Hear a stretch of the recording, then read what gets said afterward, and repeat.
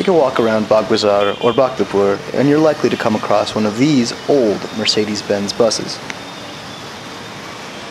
Some are well over 50 years old and are said to have been purchased off Western travelers who were strapped for cash.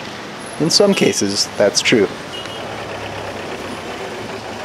Their gears grind.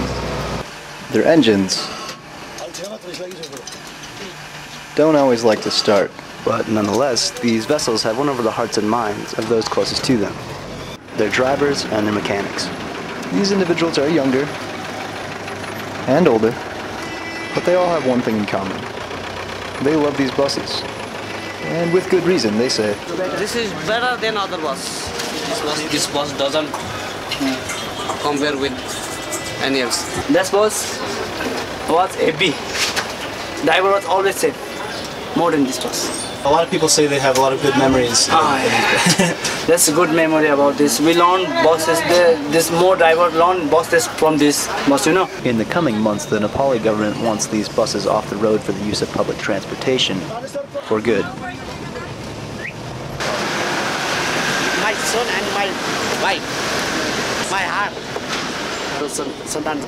Once I became the owner of this bus, it became like my life.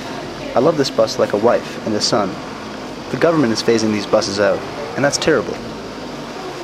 Rajit Nakarmi, who has been a Mercedes mechanic for over 25 years, shares this dissatisfaction with the Nepali government. When I repair these Mercedes buses, they stay repaired. I don't need to keep fixing them like these new buses. Now the government wants to get rid of them, and that's making it harder and harder to find parts. For these individuals, these buses aren't just vehicles, they're a lifestyle. A lifestyle that will soon come to an end. We're gonna miss this bus, you know, more than. But one in one way, uh, that's good. They will will be replaced by new buses. But it can't be compared with another bus.